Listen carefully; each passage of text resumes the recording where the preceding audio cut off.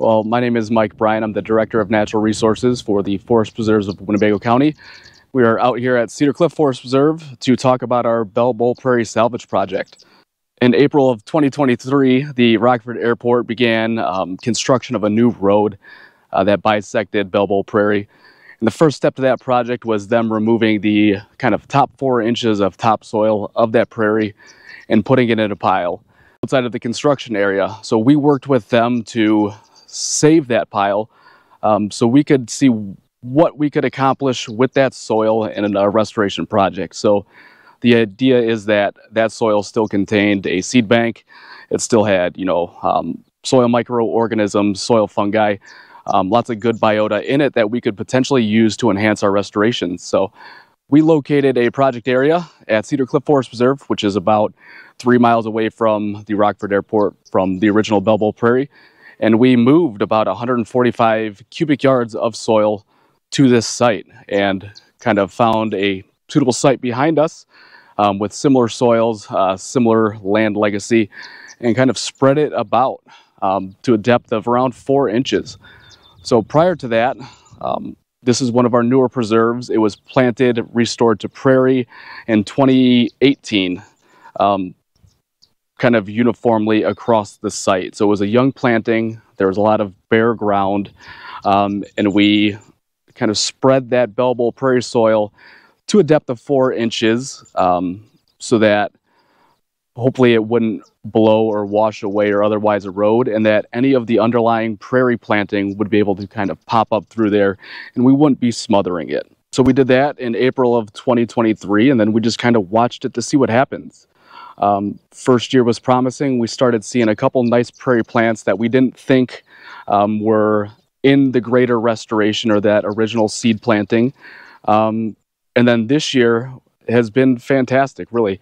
Um, we started seeing things like violet wood sorrel, hoary puccoon, um, small skull caps, uh, a couple of grasses, um, dichantheliums, porcupine grass, um, lots of conservative plants that aren't represented elsewhere at this site. Um, so we can, uh, the assumption is that they came in on in that soil. So whether it was seed or kind of roots or propagules, um, they came in with that um, salvage soil. Um, it's not without its trade-offs. So compared to the the adjacent areas, it's pretty weedy still, um, but we're working to battle those.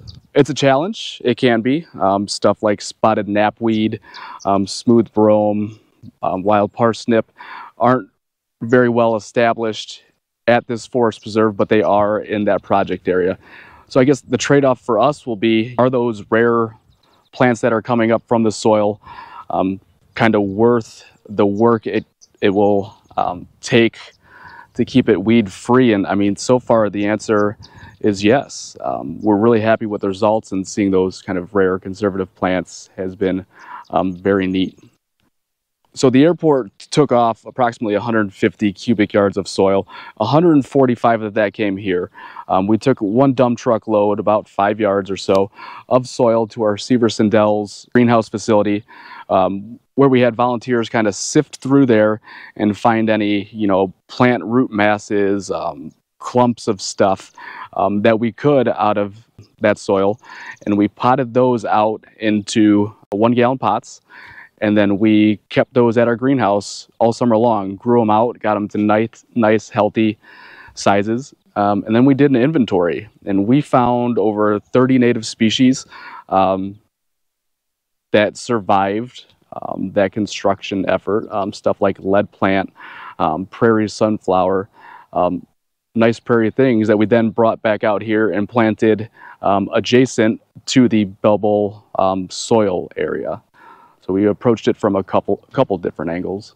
So this has been an exciting project. Um, obviously, the goal is to preserve these remnant prairies um, on site, in situ, and protect them in place.